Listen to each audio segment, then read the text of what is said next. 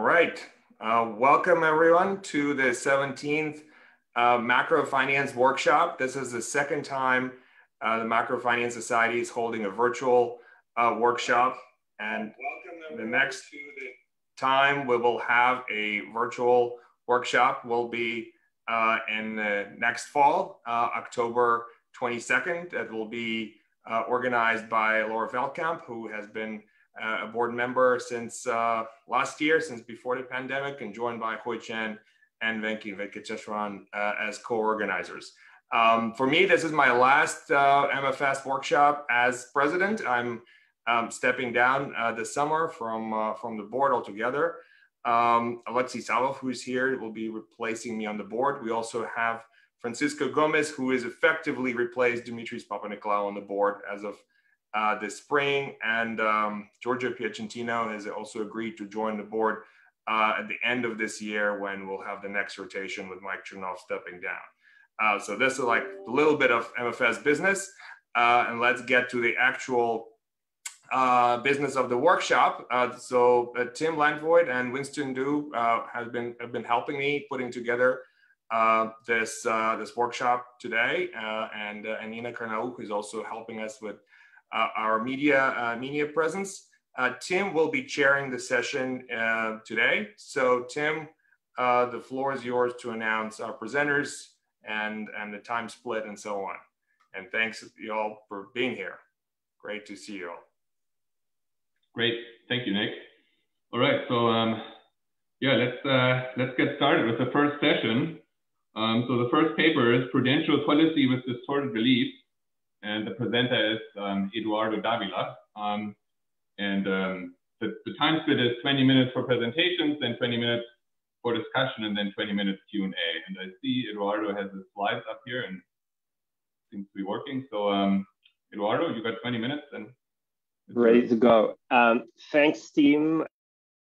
Uh, thanks to Nick and Wenxin of 3IQ for, for putting the paper in, in the program. This is joint work with uh, Ansgar Walther from, from Imperial. So no, I only have 20 minutes, so let me just get to the point. Um, and you know, we, we see you know booms and busts in financial markets, and this has uh, you know um, uh, opened the question to think about efficiency and efficiency in, in, in these environments. And as of today, there's a fair amount of normative work thinking about uh, these issues. And a lot of this explores market failures. And you know, there's a lot of work in which uh, we think about uh, how investors may not fully internalize their decisions, perhaps through bailouts, pecuniary externalities, or demand slams. So there are different rationales for thinking about policy. And a lot of this, often called macroprudential policy, is focused on regulating leverage. Now, what we're going to be doing in the paper is something a little bit different. We're going to be thinking about what is the optimal leverage regulation uh, when investors and traders have distorted beliefs relative to the plan. So there's been a lot of positive work on the role of, of, of beliefs shaping business cycles and financial cycles, but there's not that much normative work. And that's what this paper is gonna do. So what are we doing, what I'm gonna be showing you today? In our model, we're gonna have a, you'll see a very stylized model of risk investment, finance with debt and equity.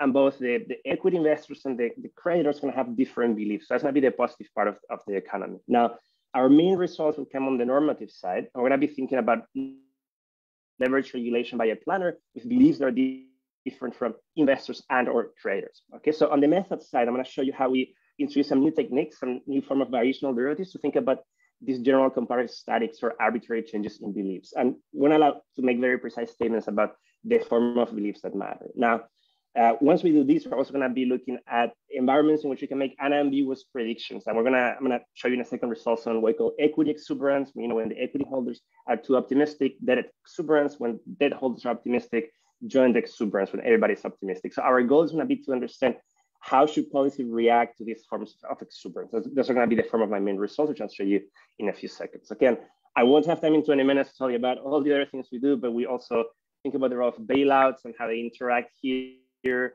We think about monetary policy in a, in a very specific way from an investment channel. And again, we also explore uh, limits to what happens when the planner has maybe uncertain beliefs or the planner's beliefs uh, change. Let me skip the literature and just jump right away through the model. So there are going to be two dates, date zero and date one. They're going to be investors and creditors. Okay. The technology is as follows. So if you these investors uh, want to have a unit of capital, they need to you know pay for the unit. That's K. and they're gonna have an adjustment cost. This is the epsilon. And you invest this at date zero, and at date one, you're gonna get S times K. So S is gonna be the key source of randomness, is the technology, is the returns of technology, all right? So everybody, both investors and traders, gonna be risk neutral. Again, those are their preferences. So this F is gonna be um, the, the CDF that they're gonna attach to the different states. And here we're gonna be making two key assumptions. So on the one hand, we're gonna make investors impatient relative to creators, okay? And this is just a way to get into your solution. It's actually not that critical for many of the results. Uh, what is gonna be important or more important is that we're gonna allow both investors and creators to have different beliefs, different perceptions about the different states of nature. That's gonna be modeled by this F super I and F super C, and this needs to be could be the same, but in principle they're gonna be they're gonna be different. All right. So on the financing side, we're gonna have investors issuing debt, and the face value of the debt is gonna be B times K. So B is gonna be the key thing I'm gonna show you my slides. It's gonna be a leverage, is a leverage ratio. That's the face value promise. And today, these investors will be able to raise some Q that depends on this leverage. All right. This is a model with limited commitment with default. So tomorrow, if the state of nature is relatively low relative to the amount owed, it's gonna be default, and the recovery rate for the for the creditors will be five times S, and you know otherwise it's gonna be for repayment. So just let me very briefly walk you through the constraints again of the investors. Like, so you fully understand we're doing. They're gonna have their consumption is gonna be equal to uh, their consumption plus the amount they invest has to be equal to their endowment plus the amount they can raise from creditors. In the final period, they're gonna have some endowment, and here I'm already embedding the optimal default decision. All right. So, so this is the problem. Now, you see the model is extremely stylized in most dimensions with the exception of beliefs. Uh, that's what we're trying to focus on. You'll see why in a second. So now, what is the planner going to be doing here? So the planner is going to impose a leverage cap, or you can also think about directly choosing leverage.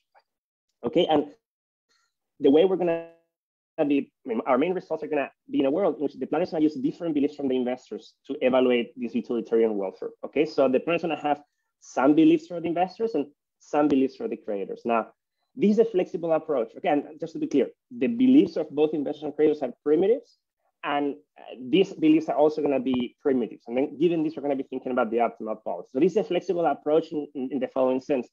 If you want the planner to respect agents' beliefs, you just need to make FIP equals to FI and FCP equal to FC. If you want to have a particular view on what the planner believes the perception of the state is, you can make these things equal and set it, and you can look at different combinations, which we will do. Okay, but that's gonna be our normative approach. Given this, the equilibrium definitions are gonna be standard app given, given a, a leverage cap. Um, very briefly on the positive side, and I don't have time to walk you through the M fully, but you know, M is really the market value of a unit of investment, and you can decompose it into an equity piece and a debt piece, something you should notice, like the equity part is sort of valued by the equity holders, the debt part is valued by the debt holders, which uh, it's natural in these setups. And there are two decisions in this setup, uh, two equilibrium choices, two equilibrium outcomes. One is leverage and the other is investment. So leverage comes by looking at how to optimize this, uh, this value. And there's gonna be a condition that depends on the discount factor difference, deadweight losses, and beliefs. And you know, if I had more time, I walk you through this, but just keep in mind that these are the three factors that determine leverage. Now, once you pin that down, investment is given by some, it's like a Q theory version of it. So this is the value per unit of investment. And this is uh, this is the, the marginal cost, the, the one you can put in, in either side. Okay, so this is how leverage and investment get determined. Keep in mind that again, beliefs enter here, beliefs enter here, so they will matter for leverage and for investment once uh, once you're in, in the equilibrium. All right, so what are we doing? What are we doing here? So we are interested in understanding how the optimal policy changes or varies in response to changes in belief. So we have to do into, we need to understand two things. First, we need to understand how the equilibrium of the economy varies in response to changes in beliefs, and then how, again, how the policy should change when these beliefs change. So those are the two steps. Now, in this setup, as you saw, I work in a, in a highly stylized environment, but we're keeping beliefs flexible. And what we want to think about clearly, and you know, this is an issue that happens many times. You know, we have beliefs. what, what is a change in beliefs? Is the mean changing? Is, is the variance? Is, is a tail? So we're going to be looking at arbitrary perturbations. So what we're going to be looking at is uh, at, at, we're going to be looking at this variational or Gateaux derivative. So we're going to be saying it's like, look, imagine some of the agents start with a distribution f going to perturb that distribution f in the direction g. Okay, and epsilon is gonna, we're going to take this epsilon to zero. Okay, so we need to make sure that when we do the perturbation of the CDFs, they remain uh, a CDF, and you know with continuously differentiable G's uh, do that. We'll talk more about this in the paper, but this is sort of the idea. Let me just kind of walk you briefly in, in the picture where it's the kind of perturbation we're looking at. So again, on the horizontal axis, you have the different states. Here I'm showing this uh, this CDF. Okay, so think about the the uh, the thin line as the original F, and G as the perturbation. Okay, so we can do is like add this up and then build a new solid line, and that's just gonna be a change in how the beliefs change. Now, for now, this is gonna be arbitrary, and our first set of results will, will be fully arbitrary. I'll, I'll, you'll see when I get to specialize later on. So something you keep in mind is because we are perturbing a CDF, you know, for example, G will be local optimism, okay, which is a little bit G negative, so it's gonna be local optimism. So here you're saying, oh, uh, when G is negative, it means that you are pushing the CDF down, which means that the probability that something to the left occurs is, is uh, less likely. So stuff to the right is gonna become more likely. It's, it's the notion again, it's local. That's sort of what we're gonna be doing.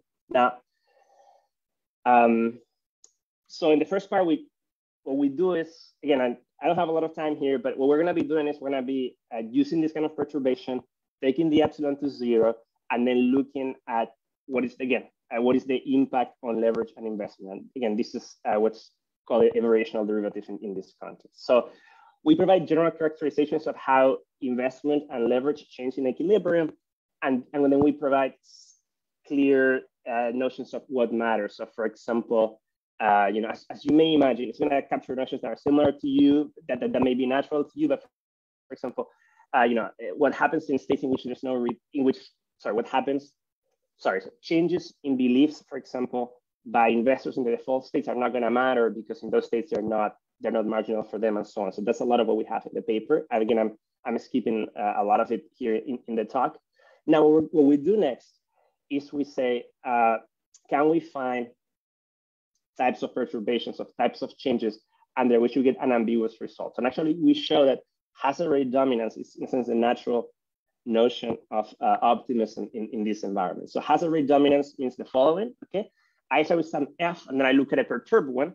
If I hazard rate dominance is a notion that says that um, the hazard rate of the perturbed distribution is uh, lower than, than the other one. So it's, it's, a way of thinking about optimism. So if I say that you're more optimistic in hazard rate dominance, means that you're optimistic in a across the whole is, stochastic or you're going to be more optimistic across the distribution.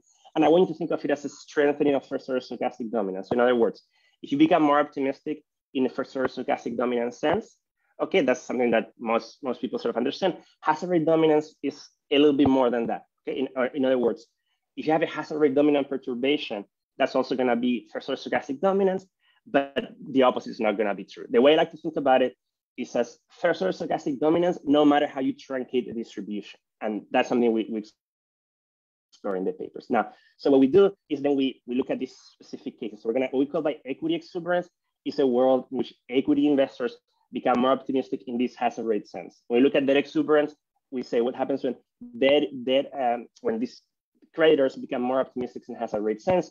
When we look at joint exuberance, we say what happens if both investors and creators becomes more optimistic in this hazard rate sense. So those are kind of the key results we're gonna build in the paper. So these are the positive results.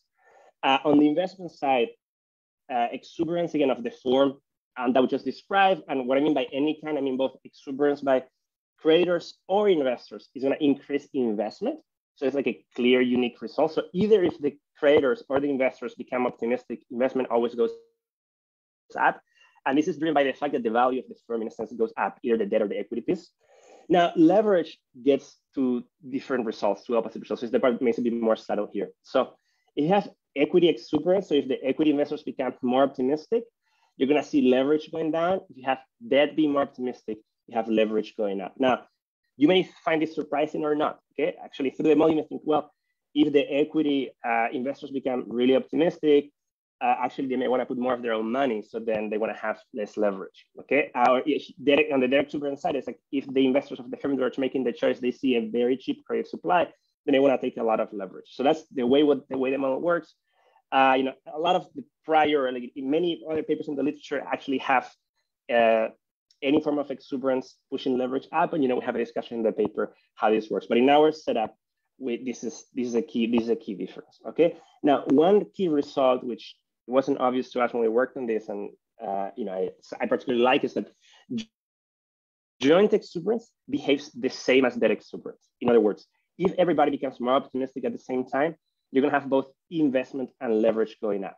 And the intuition here is the following: even though, uh, again, uh, you you might think, well, if uh, you know if it's on the equity and and the debt side, uh, both are becoming more optimistic. I just told you that they tend to push leverage in opposite ways. However, what happens like the creditors are more patient.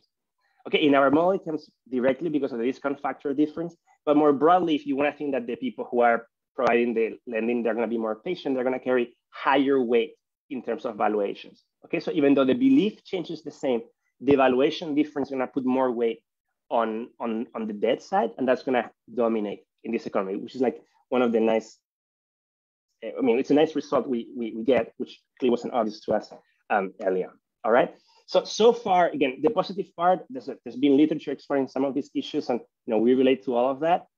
Um, um, now, these are where the key normative results arise. Okay, so in this setup, we're looking at a, a utilitarian planner who maximizes the utility of investors and creditors using the, the planners, uh, using these planners' beliefs. And then we provide uh, the following characterization. Okay, so here we're looking at is how the social welfare changes when you vary this leverage cap. And there are going to be two effects. On the one hand, there's an inframarginal effect, which is out of all the units invested, uh, what is the change in, in the valuation of those uh, when you change this cap? That's the first effect. Then, because we're in a second best environment, and I didn't emphasize this a lot, but we are underwriting leverage and not investment. We're also going to have an incentive effect, which is to say, if investment moves because I'm moving the leverage cap, this also has a separate uh, consequence in welfare. And you know, I'm doing some advertisement for another paper, which is somewhat related to this one, but actually quite different, which we think about these issues more generally. Here, uh, you know, what I want you to take out of this equation is a, a couple things. So first of all, if uh, the planner, first thing you can notice, like the economy is constrained efficient here, if the planner and the agents agree. Okay, so if the M of the planner and the M of the agents are exactly the same, it's gonna be zero, and this will be zero also at the at the laissez-faire economy. Okay, and um, the, the other thing I want to just take a look at this is that um, um, you know, what it's, it's for this second best term, what is important is also how, sorry, how investments are react to the leverage cap. So these are the two effects. Now, well, the next thing we do in the paper is we say, how does this expression changes when we vary the beliefs? So that's really the key exercise in the paper. It's like, how does this, sometimes we call it desire to regulate, okay, uh, is gonna change when the beliefs of the agents in the economy are gonna be changing. All right, and again, this will translate into an optimum under some regulatory conditions that we specify in the paper. And these are the main results. I don't think I have a ton of time, so let me just spend my last few minutes uh, telling you about it. Okay, so um, what happens in an equity exuberance case? Okay, remember, equity exuberance is a world in which the equity investors become more optimistic. Well, in that case, actually, we show that it's never optimal to impose a binding leverage cap. So you always, you in fact have too little leverage. You like to have um, you have to have more leverage in the economy. So that's the first result in, in, this case. Now, on the debt exuberance case, which is a world in which creators become more um, optimistic, we actually show that if creators become more optimistic, it is optimal to tighten the leverage cap. That's the second key normative result. And the third one, based, I mean, building on the logic I described to you before, is that when you have a joint exuberance case in which like the whole economy is exuberant, uh, we're going to be qualitatively thinking the same way as in the debt exuberance case. So In other words, joint exuberance also calls for tighter leverage regulation. Okay, so these are the clear distinctions. Now, just to give you a bit of intuition, okay, uh, it, it's, it's a bit more subtle than what I'm going to do here, but you know, in the equity exuberance case, for example, we knew from the positive results that there was, in a sense, too little leverage. Okay, so the planner really uh, wants uh, to have more leverage. It makes sense not to tighten the cap. Now, if you recall my previous slide, this is only working through here. There are also a number of effects coming through the incentive side, and these are much more subtle.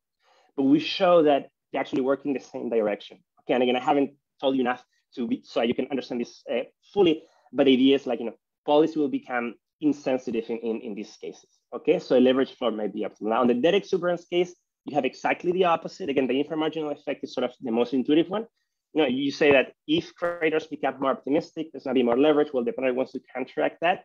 And the second incentive effect is not gonna um, undo it. Okay, so I like to spend, I just like to show you this because these are, you know, it's been a bit abstract we've done so far, but we're trying to, you know, we came from a very practical question, which is how do we think about regulation in environments with this sort of belief? So we started the paper thinking about the big short in the sense that, you know, we think about all these periods of like exuberance, people are really optimistic about the state of the economy. And, you know, we say, is there rationale to regulate there? And in our view, what we call the debt exuberance or the joint exuberance case can map and represent a period like, you know, 06, 07, 08, in which people were, uh, you know, both lenders are very exuberant and perhaps also investors are very exuberant. And this is how we started thinking about the paper. Now, while working on this, uh, you know, when we found the equity exuberance result, we really struggled a little bit to, to map it to practice. But one case that we highlight in the draft is the Hertz bankruptcy case, which happened like know, a bit more than a year ago. And I don't know if you recall the scenario there, but uh, there was a uh,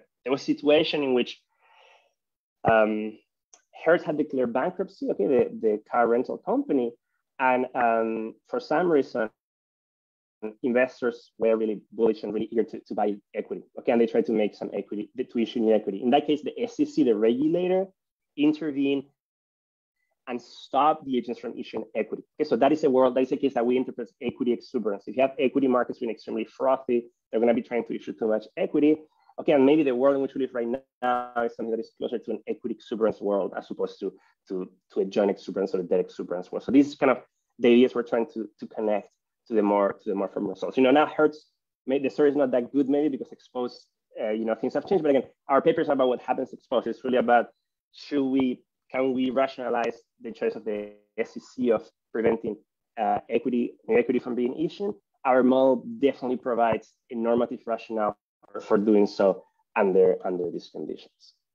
Uh, so yeah, I don't have a lot of time to go over this, but let me just very briefly, okay, what I have here, I'm plotting um, this is actually normally it's a solution of the model, and this sort of illustrates most of the results. Okay, so on the horizontal axis, you have the beliefs of your investors, traders, or both, and here I have the different scenarios. So for example, on the top left plot, if you look at this, um, this light blue line, that is a debt exuberance case. Okay, so here if the beliefs of traders become more exuberant, you see leverage going up.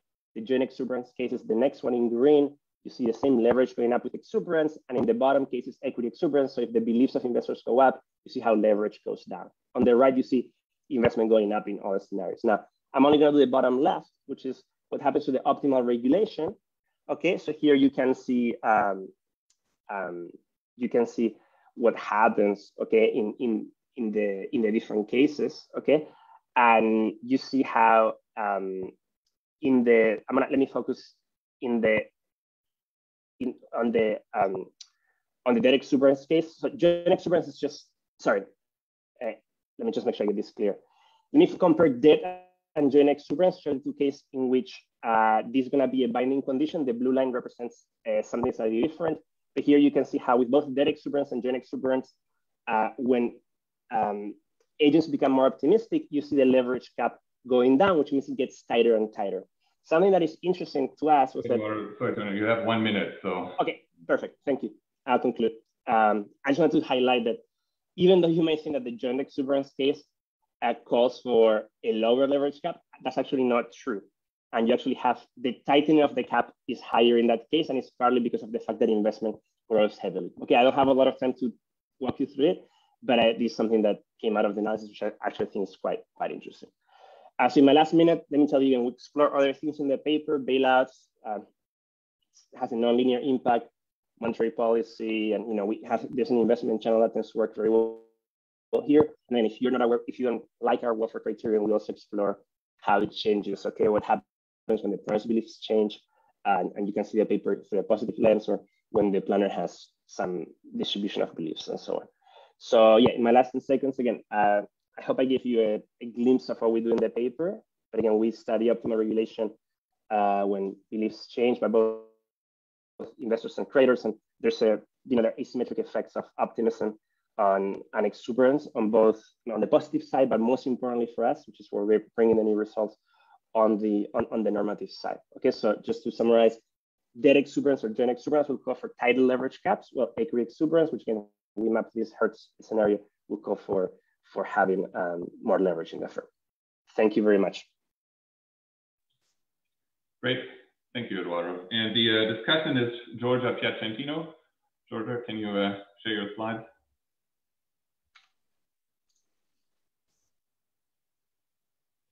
All right, and you also have 20 minutes, and it's Thank you. Uh, yes, thank you very much uh, for inviting me to discuss this paper. Uh, it's a new has a new interesting uh, uh, insight and follows through with an exhaustive analysis. So it was a pleasure and a bit of a challenge uh, to read and, and, prepare the discussion. Um, so let me launch. Start with a word of motivation. So exuberant beliefs can fuel lending booms. So we need policy to curb them. And the question that the authors want to ask is, what is the optimal policy when investors and or uh, creditors have exuberant beliefs. And the answer uh, that the authors give is that the optimal policy depends on the type of belief distortion. In particular, uh, creditor exuberance calls for a strict leverage regulation, uh, whereas perhaps surprisingly, investor exuberance calls for no leverage regulation whatsoever. And this is kind of the counterintuitive result. And the insight behind this nice result is that optimistic investors choose not to lever up. What's the intuition? Well, investors are optimistic. Uh, that means that they perceive creditors as pessimistic. So they perceive debt to be expensive. That's why they, uh, you know, they don't want to uh, lever up. They basically decrease leverage privately. So um, in my discussion, I'm going to start with an oversimplified version of the model. Uh, you have to bear with me, it's going to be really only four bullet points, but I think it really goes uh, and kind of nails the, the uh, kind of what I think are the key results. And then based on this oversimplified model, I'm, I'm going to build my comments. Uh, so I promised for bullet points. Uh, so there's going to be an investor, I, that's going to be me. Uh, I issue bonds with face value uh, B and price QB uh, to the creditor who's going to be Eduardo. Um, I start with an endowment in zero, uh, but I need to uh, borrow to finance an investment that is going to cost one. So notice here, I'm really not going to focus much on investment, and this is going to be one of my main points. I don't think that this investment is a bit of a sideshow, I think, in the model. Uh, and uh, this investment is going to pay uh, either S uh, if the investment succeeds or zero if it fails. Uh, and here I'm simplifying, you can see I only have two states. I don't have a continuum of states, but I think the, the result, I'm going to deliver the results. Uh, agents are going to have subjective beliefs, so the probability uh, of having of being, you know, in, in, in the success state, so in which the investment pays off S, is PJ for agent J. Now, if uh, the uh, project pays zero, uh, then the creditor, that's Eduardo, is going to bear convex default cost, which I'm going to call psi. So in the paper, there's linear default cost. Here they're uh, convex because I'm going to be, that's going to allow me to get interior solutions with only two states rather than using a continuum of states. I'm going to make an assumption, um, and you'll see uh, what, what it drives, the fact that you know, the creditor has a higher discount factor than the investor. That means that the creditor is more patient. So with this, um, I'm just ready to give you the investors and the planners program. Um, here, if I invest, here investment is bang bang. So if I choose to invest, I'm going to choose leverage B star, uh, such that it maximizes my utility. What's my utility given by? Well, today I start with an endowment and zero. I borrow QB from Eduardo, but I have to invest one in my project. Tomorrow, what do I get? Well, I have to discount uh, the payoff by my discount factor beta i. And then uh, I'm going to, uh, the project is going to succeed with probability pi. Uh, that's my belief that the project succeeds. If it succeeds, I get S, but I have to repay B, uh, the debt. Then this is subject, I maximize this utility subject to what I'm going to call the non-negative non-negative consumption constraint. And I'm to, uh, this is going to be one of my comments, so uh, remember it, it's important. Uh, so this says that my consumption has to be positive. So that means that my endowment plus what I borrow today um, minus my investment has to be positive. And finally, uh, the creditor's uh, individual rationality constraint. The creditor here is breaking even. So what he gives me today, that's the price of the debt, has to be equal to his expect what he expects to get tomorrow, which is he discounts at rate uh, beta C. Um, and what he believes he's going to get tomorrow, well, he's going to get with probability PC. He thinks that the project is going to succeed and he's going to get uh, his face value B. But with probability 1 minus PC, uh, the project is going to fail and he's going to bear the cost psi, uh, the default cost. What is the planners program? Well, the planners program, uh, the planner is going to choose B of P for planner. Uh, he's solving the same program, but just subject to its own beliefs. That's it. Now here, by looking at the investors program and just plugging in QB into the utility here is going to give me the key trade-off uh, of the model. So which is the key leverage trade-off, which is given the, by the marginal value of leverage. So if you just differentiate the utility, my utility with respect to leverage, you get a marginal benefit of leverage versus a marginal cost. Well, what's the marginal benefit? Well, the marginal benefit that you can see here is just the valuation difference between the agent, which is due to the different optimism and patient. So look at it. So when is there a benefit of leverage? Well, when the creditor is either more patient, so that means his discount factor is larger, beta, or he's more optimistic, that's when P is larger. When these two things are happening relative to my patient and optimism, well, then that is going to be cheap. I'm going to perceive that to be cheap okay? And that's the benefit. The problem of the cost here is that, of course, uh, uh, there's a cost of default, and that's going to be what's driving, uh, you know, what why I may choose not to, you know, uh, increase leverage uh, to infinity. Okay, great. So now, if the non-negativity constraint uh, is like that I told you in the previous slide is lack, well, then the optimal leverage is just going to be given by setting this um, derivative to zero, which is I'm going to choose the leverage such that the marginal benefit is equal to the marginal cost. With this, I'm ready to give you the, what I think are the two main economic results of the paper. Uh, the first result is the effect of optimism on leverage, which is the author's proposition three exactly. So let me uh, tell you what it says. It says the equity exuberance, uh, which is defined as an increase of investor optimism is going to lead to lower leverage. You can just see this by differentiating the optimal leverage by the beliefs of the investor, and you can see it's negative. What is the intu economic intuition? Well, here the investor is optimistic. That means that he, the investor, so that's me, I, I perceive that to be expensive as the creditor, Eduardo, is relatively more pessimistic. So I perceive that to be expensive, so I choose not to borrow but I want to still invest. How am I going to how am I going to invest? How am I going to finance that investment? Well, I'm just going to reduce consumption. Why? Well, remember the key thing that here I'm assuming that the um, consumption constraint is lack. Okay, so I can reduce that consumption to finance that investment. The debt exuberance case is a case in which the creditor is relatively optimistic relative to the investor. That means that that's going to lead to higher leverage. The optimal leverage is increasing in creditor optimism. What's the intuition? Well, here debt is cheaper as the creditor is relatively more optimistic. It's basically mispricing the debt if you want. So I really want to borrow. I'm going to borrow, and that's going to increase my consumption. Finally, the joint exuberance case is just basically the debt exuberance case. The joint exuberance case is a case in which both the creditor and the investor are optimistic, but they have the same beliefs, which I'm going to call P. This is also going to lead to higher leverage. What is the intuition? So they're both optimistic. So you might think there and they have the same beliefs. So you might think that it's just a horse race between equity exuberance and debt exuberance, but actually it isn't. Why? Because remember that the creditor is more patient. So that means that the creditor's beliefs are going to matter more as he cares more about the future. Basically, there is a higher weight on the debt exuberance case. There is a higher weight on, on the beliefs of, of the debt. And that's why the results are basically all the debt exuberance results. The second main result is about optimal regulation, which is proposition six, which says what? Well, it says, well, in the equity exuberance case, it's defined here slightly differently. I'm sorry for that, but it's that the investor uh, beliefs are is more optimistic relative to the creditor and the planner.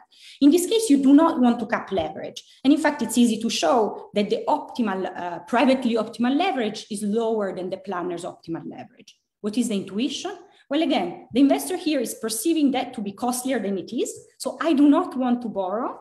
So I do not, I, I, I just consume too little. So there's no point in, in capping leverage here. I'm not borrowing, borrowing too little.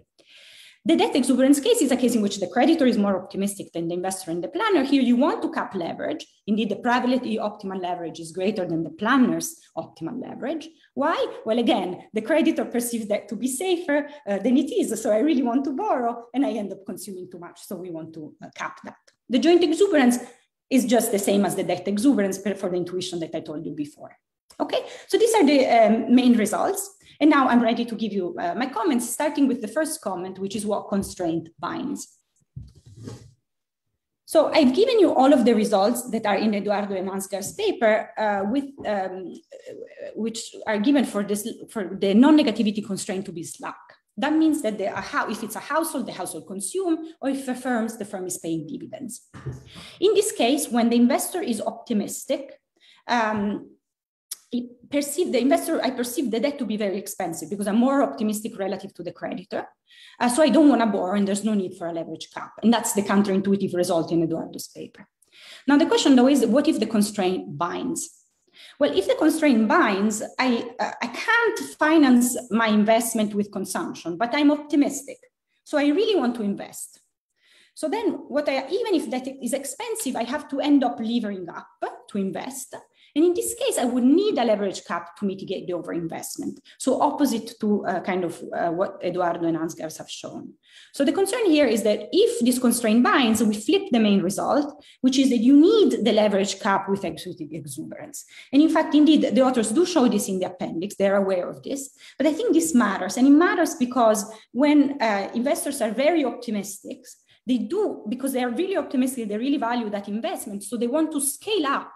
So the constraint this negative consumption, consumption constraint is end up is going to end up binding. So in other words with equity exuberance is likely that we are in the flipped result case. So it's likely that we are in the vanilla case in which uh, you know you want to cap leverage with exuberant beliefs Okay, so I think that here the author should think about how the beliefs are affecting uh, this uh, uh, non-negativity constraint. Now, to my second comment, uh, I need to talk a little bit more about investment because I shut off investment in my oversimplified version of the model, um, but I, I, want to talk to uh, about you a bit more about it. So, in the oversimplified version of the model, there is no investment, but I think it delivers the main economic results, uh, and I'm going to get back to this. Now, in my oversimplified model, the space of belief changes I can look at, of course, is smaller. I only have these two states, but the direction for which the authors get the economic result, so the hazard rate dominance are so coarse that basically resemble the binary case. And that's why I was able to get all of the results with the binary case. But okay, but the authors do have other results, um, but I'm able to generate all of the results. And in fact, I'm not going to show you, Eduardo, they're all, I've shown you everything is going to be in the appendix of the slide, but I can generate them all by just adding to my oversimplified model, I can just add scalable investment in K with adjustment uh, cost upsilon. But I would still argue that my model is still simpler than yours. Why? Because I still have two states. So I don't need, you know, I have no need for calculus of variation. I can do everything with the, um, with the, you know, standard calculus. And perhaps the only thing I cannot match perfectly is proposition two, but everything else I can. And uh, I still have convex default cost, whereas you have linear default cost. But this is just a way to, for me to get interior solution rather than having a continuum of states.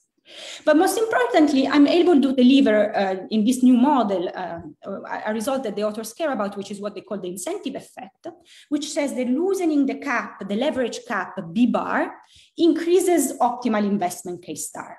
Now, of course, the authors show this uh, uh with using some derivatives, but I want to ask, why is this the case economically? So to do that, I have to write down the program with investment. And I'm gonna, I'm gonna basically write it down in my oversimplified version of the model, but I'm gonna write the program in terms of total debt B, rather than writing it down with debt per unit capital little b, which is what the authors do, which is basically they're writing down in terms of little b, which is big B, total debt over, uh, over investment.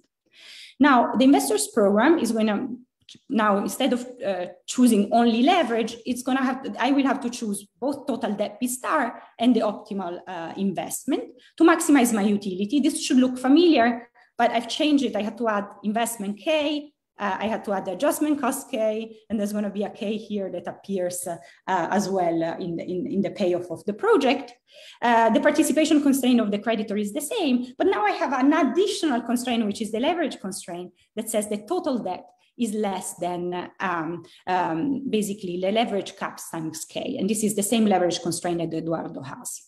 Now the incentive effect result says that higher, the higher is the leverage cap, the higher uh, is uh, the optimal leverage.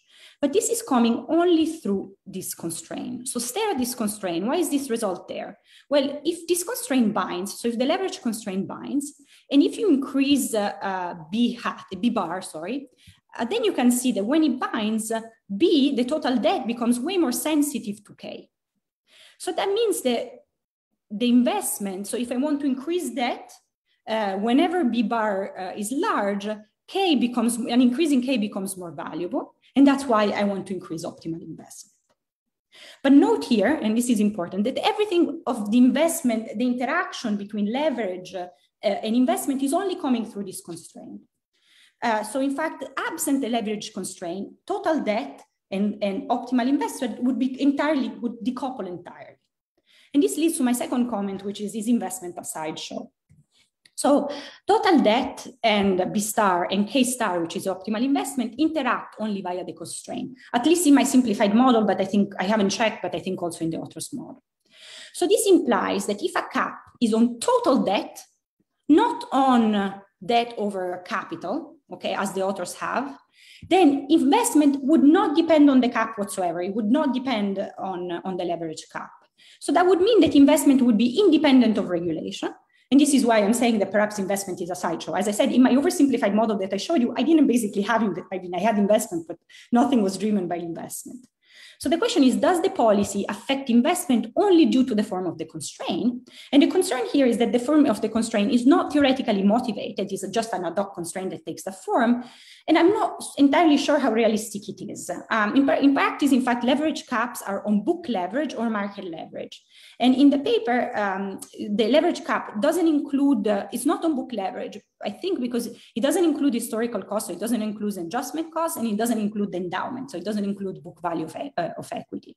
And it's also not on market leverage because it's not about market value of equity or, or the endowment. And I think this matters uh, because um, it answers the question of whether the relevant inefficiency is the default cost or its overinvestment.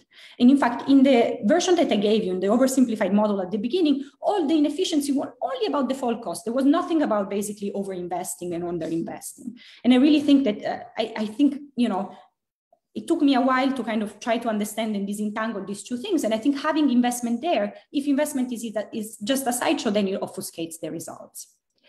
Um, this leads, leads, me to the third comment, which is about private solution. If indeed the main inefficiency is the default cost, then this can be avoided privately via contingent contracts. Just think about equity.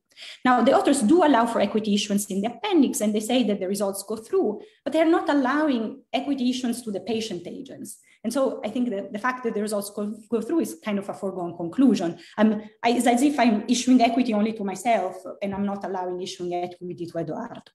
So the question is, in the interpretation of what's the interpretation of policy when agents can optimize privately? The concern here is that agents can circumvent the inefficiency on their own. And I think this matters uh, because the policy would be moot uh, uh, if agents can just find private solutions. Finally, uh, to my fourth comment, which is what does um, the model apply to? So here, uh, the investors uh, borrow or borrow only uh, with only debt uh, to finance investment um, and uh, to pay a dividend. Now the question is, who are these investors? So I think this would just help, like, kind of really kind of tell a, story. So I don't really think it, these in, investors are bank or large firms, and the reason I say this is that banks or large firms issue equity and debt to the same agents. In other words, there is not this segmentation that you have in the market between equity and debt. Um, you know, if I think I, I, hold both deposits in my bank and I hold the equity through of the bank through uh, the retirement account. So I don't think that this segmentation is there for banks or large firms.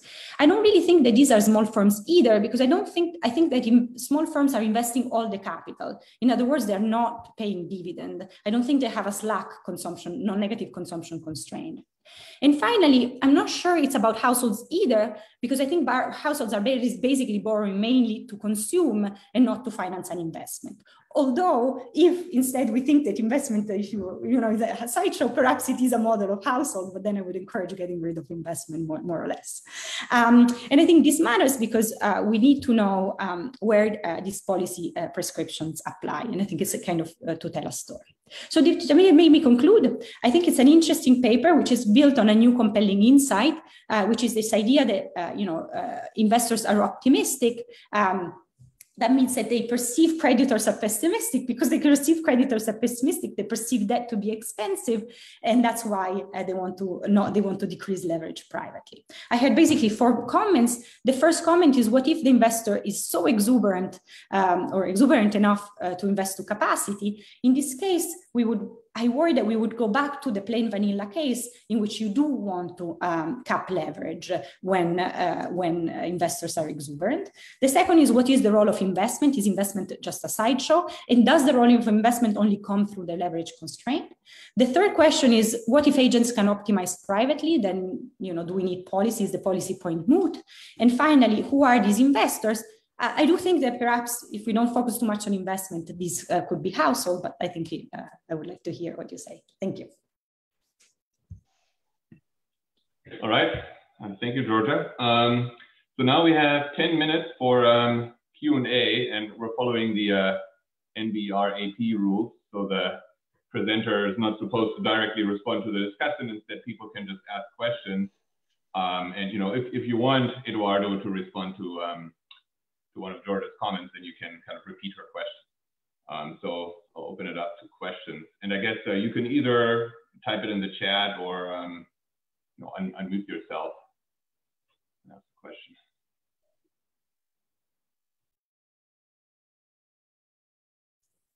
Hey, this is uh, Will Diamond here with a question. Uh, Eduardo, I'm wondering if you change the first period so that there's curvature of the utility function instead of being just constant and linear, you might be able to get Giorgia's case where things are binding uh, and your case that are not binding with a sort of smooth region in between to capture this intuition that one reason why you might lever up is to get more exposure to the asset without having to put up as much capital so you can consume today. Um, thanks, Will. Yeah, well, I mean, that case, it's section 8.5 in the appendix has the bind. We, we don't even need that. Like, it, it may, it depends on parameters, it may bind or it may not bind. We have it in the paper. Just to clarify a bit, like, we're not, there, it's not just like, you know, the equity stuff is a bit more exotic in a sense, but we also think, I mean, the others are also new in the following sense, like thinking about the leverage cap, thinking about it in this setup. That's not something that had been discussed in this setup. So I am perfectly fine it becomes an empirical question whether do you see and it has very clear empirical questions do you see equity being issued? Then you're probably in our world. Do you see equity not being issued? Then you're probably in a binding constrained world. So I, to me it's all parts of the model. We emphasize its results partly because you have to you know put them all in one way but i don't see as this is contradictory. They're both part of the model. They're both analyzed. One is in the body. The other part is in the appendix.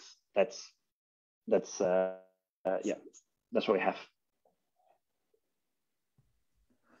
Thanks, Will.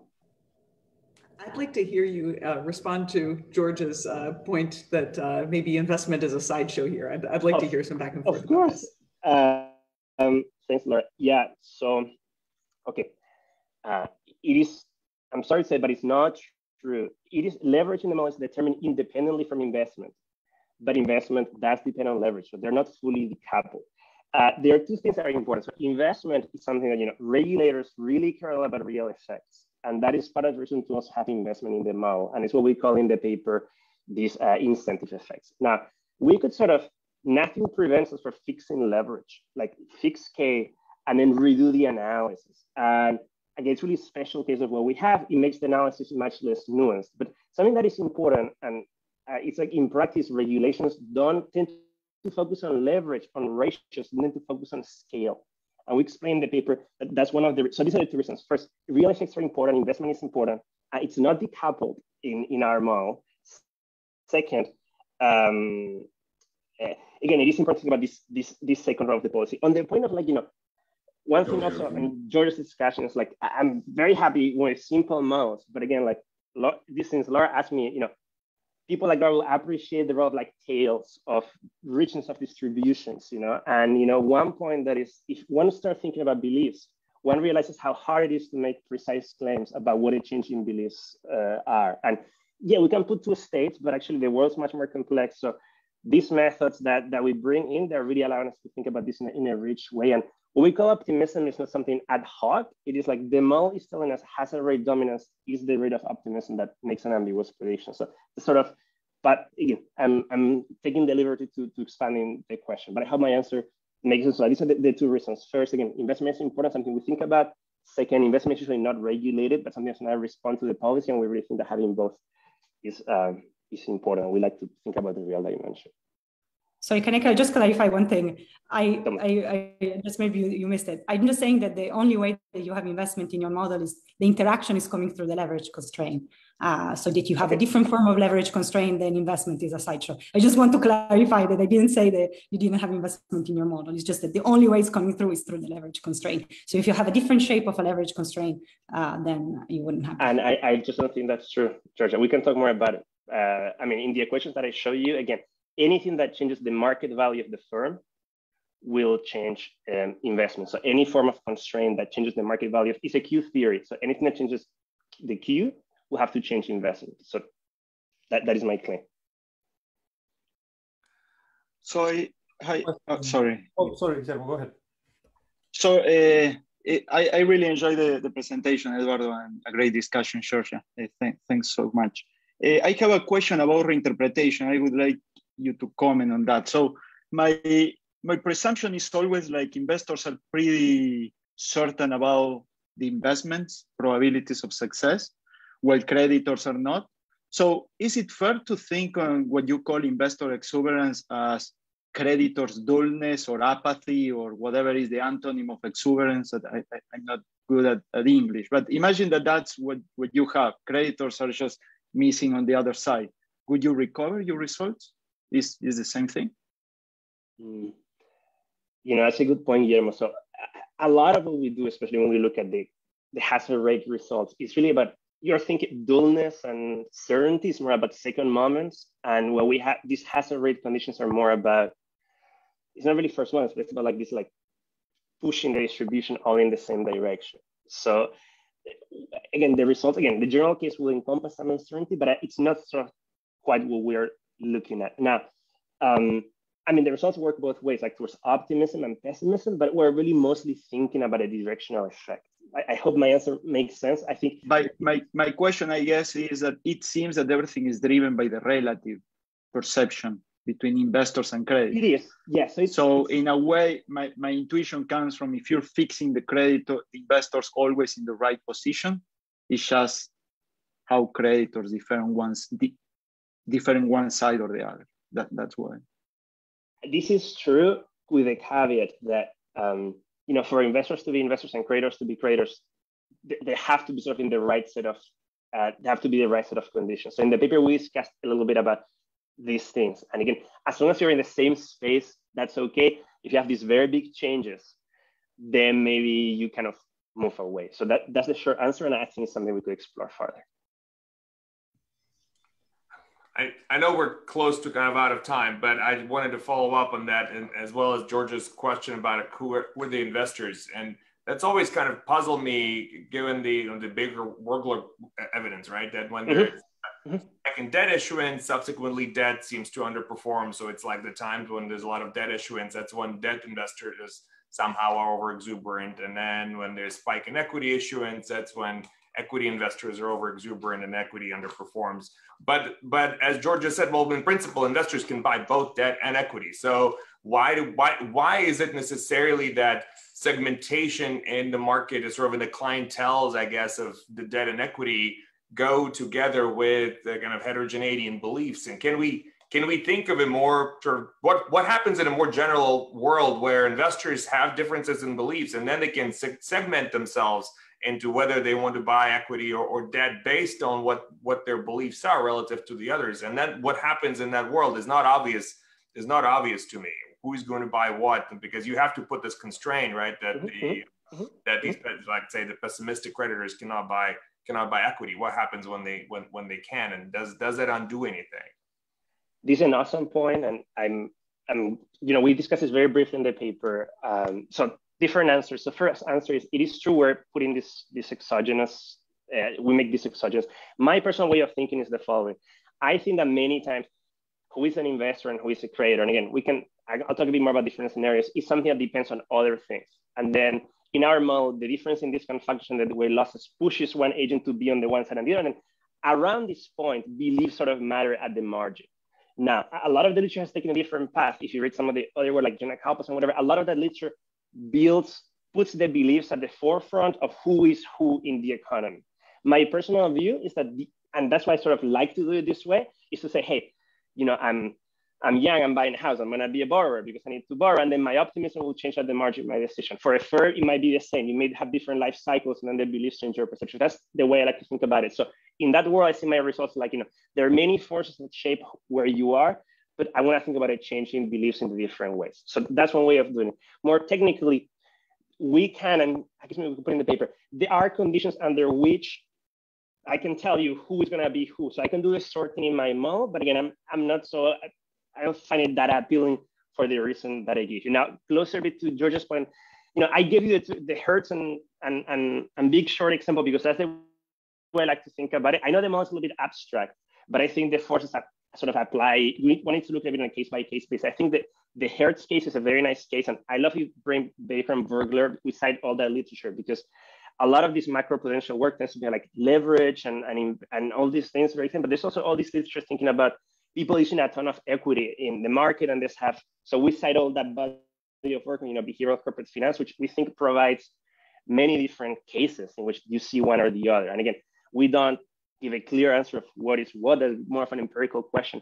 But I think, uh, you know, armed with the model, one can start to think on a case by case basis how to use it. What the SEC did with Hertz I think if it's 100%, it's exactly, you know, they could have said, hey, based on this model, that's gonna be our, our that's how we're gonna make the decision. Again, that case, the case in which like, um, and just to be clear, in the model, as Giorgia said, we have equity investors and outside investors. So it's not necessarily that the, you could issue equity. The assumption is that the beliefs that we call equity investors are the beliefs of those people you issue equity to, or it could be an average between the inside equity and the outside equity. So those are the that's how the way you reinterpret the results. But again, I think that case really maps to what we have. And then for the loose credit conditions, there's so many papers and there's so much literature thinking about it that I, I think there's not much to, to motivate. You could see about firms.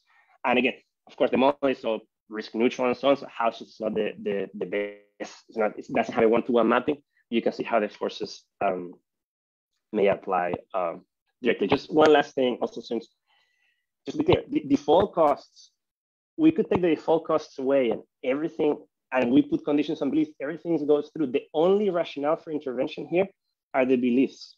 Okay, so they can even when there are default costs, the economy will be constrained efficient. There's nothing this this uh, these people can do. Again, subject, of course, to this to the assumption on who is who. But again, all the rationale, everything we've done is being coming from this if you want to call it paternalistic objective that the planner has.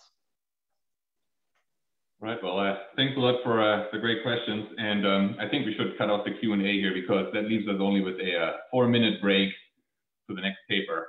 Um, so um, we'll see everybody back here in four minutes.